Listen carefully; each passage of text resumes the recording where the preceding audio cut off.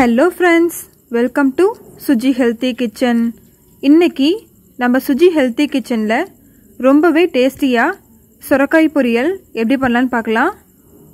இந்த சுரக்காய் பொரியலுக்கு நான் ஒரு நீளமான சுரக்காய் எடுத்திருக்கேன். ஃபஸ்ட் இதோட ரெண்டு எஜ்ஜையும் கட் பண்ணிக்கலாம். இது மாதிரி கட் பண்ணுங்க. நெக்ஸ்ட் இதோட தோலை வந்து ரிமூவ் பண்ணிக்கலாம். உங்களோட சுரக்காய் கொஞ்சம் பிஞ்சாக இருந்ததுன்னா இது மாதிரி ரிமூவ் பண்ண தேவையில்லை. அதோட லேயர் வந்து லேசாக இருக்கும். குக் பண்ணுறதுலையும் பிரச்சனை இருக்காது. கொஞ்சம் தோல் கெட்டியாக இருந்ததுன்னா இது மாதிரி சீவிக்கோங்க. அப்போது தான் நல்லா வேகும். இது மாதிரி நல்லா சீவிக்கோங்க. பாருங்கள் இது மாதிரி நல்லா சீவி எடுத்தாச்சு. இதை நல்லா வாஷ் பண்ணிவிட்டு குட்டி குட்டி பீஸாக கட் பண்ணி எடுத்துக்கலாம். அடுத்து ஒரு பெரிய வெங்காயம் சின்ன சின்னதாக கட் பண்ணி எடுத்து வச்சுருக்கேன். ஆறு பச்சை மிளகாய் ரெண்டாக கட் பண்ணி எடுத்து வச்சுருக்கேன். அடுத்து ஒரு மூடி தேங்காய் துருவி வச்சுருக்கேன். இப்போது கடாய் ஹீட் பண்ணிவிட்டு இதில் ரெண்டு டேபிள் ஸ்பூன் அளவு எண்ணெய் விட்டுக்கிறேன். இது கூட அரை டீஸ்பூன் கடுகு. கடுகு நல்லா பொரிஞ்ச உடனே ஒரு டேபிள் ஸ்பூன் அளவு உளுந்து ஒரு டேபிள் ஸ்பூன் அளவு பச்சை கடலை பருப்பு ஆட் பண்ணிக்கலாம். இதை ஒரு டைம் நல்லா மிக்ஸ் பண்ணிக்கோங்க. இப்போது இது கூட கட் பண்ணி வச்சுருக்க பச்சை மிளகாய் ஆட் பண்ணிக்கலாம். இதையும் நல்லா மிக்ஸ் பண்ணிக்கோங்க. அடுத்து ரெண்டு கொத்து கருவேப்பிலை. கருவேப்பிலை நல்லா புரிஞ்சதுக்கப்புறம் எடுத்து வச்சுருக்க வெங்காயத்தை ஆட் பண்ணிக்கலாம். இப்போது கருவேப்பிலை நல்லா புரிஞ்சிருச்சு. இதில் கட் பண்ணி வச்சுருக்க வெங்காயத்தை ஆட் பண்ணிக்கலாம். நல்லா மிக்ஸ் பண்ணிக்கோங்க. வெங்காயத்தோட கலர் நல்லா சேஞ்ச் ஆகணும். அது வரையிலும் நல்லா மிக்ஸ் பண்ணிக்கோங்க. இப்போது நல்லா கலர் சேஞ்ச் ஆயிருச்சு. பாருங்கள் வெங்காயத்தோட கலர் நல்லாவே சேஞ்ச் ஆயிருச்சு.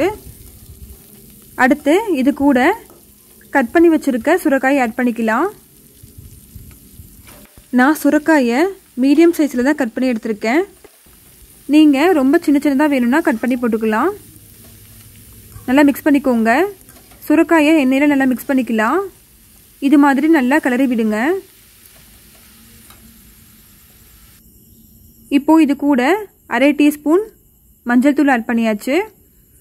இந்த சுரக்காய் பொரியலுக்கு தேவையான அளவு உப்பு சேர்த்திக்கோங்க. இதை நல்லா மிக்ஸ் பண்ணிக்கலாம்.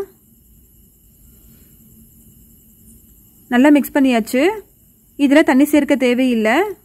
இந்த சுரக்காயில் வர நீரே போதும். இது நல்லா வெந்துடும் இப்போது இதை க்ளோஸ் பண்ணிடலாம். ஸ்டவ்வை லோ ஃப்ளேமில் வச்சுக்கோங்க. இப்போது டென் மினிட்ஸ் போல் ஆயிருக்கு. பாருங்கள் சுரக்காயில் நீர் நல்லா விட்டுருக்கு. இன்னும் சுரக்காய் வேகலை. இன்னும் ஒரு ஃபைவ் மினிட்ஸ் நல்லா வேக வச்சுக்கலாம். இதை ஒரு டைம் நல்லா கிளறி விட்டுக்கோங்க.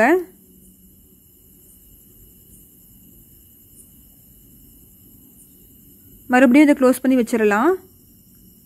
நல்லா வேகட்டும். இப்போது மறுபடியும் டென் மினிட்ஸ் போல் ஆயிருக்கு. பாருங்கள் சுரக்காய் நல்லா வெந்துருச்சு. டோட்டலாக இது டுவெண்ட்டி மினிட்ஸ் போல் வெந்திருக்கு. ஆனால் இதில் தண்ணி சுண்டலை.